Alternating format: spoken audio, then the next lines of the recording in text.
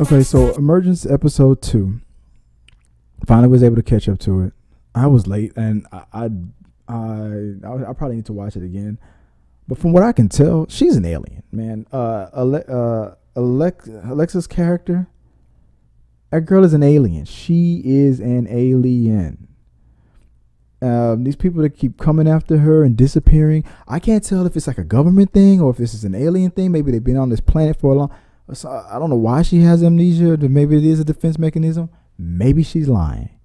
But after seeing this episode, episode two, she's an alien. She is an alien. I think she's an alien. And let me click on something real quick. She's learned how to use her powers. These people that came out of, I, I think it's both. I think either there's there's uh, aliens that are just like her that are looking for her, and there's shadow government coming after her as well. In this episode, um, Camera Wheelbarrow, Tiger Pillow. There's some weird names. Um, but you know, disappearing the plane and and then finding how to do keeping the black box and all that, and everything how it's uh, electrical charge and defying gravity and all that stuff that's going on. It's some, it's obviously we're dealing with alien technology. Has to be.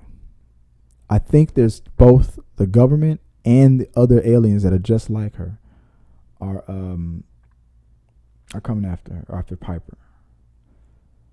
Um, she's an alien. There's there's only that's the only thing I can say uh, about this episode.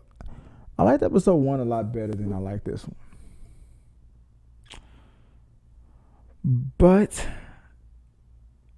and it seems like more of other people too. It had four million uh, viewers and it only had three point eh, three point three point five. It's not that bad of a dip. But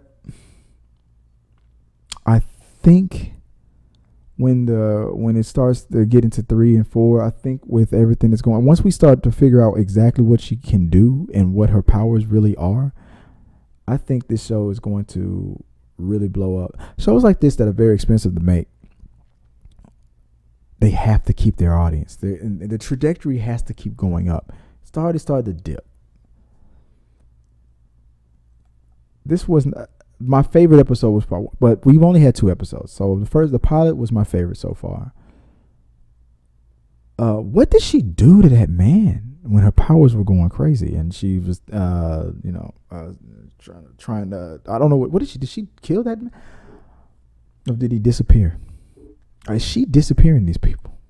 You know she crashed that plane. Maybe she didn't. Maybe the people that are looking for her did that. Government obviously are the ones who are trying to get rid of the evidence. Maybe they're all working together. Maybe they're not. Maybe they're enemies. They are government and these aliens. Something's going on. These are aliens.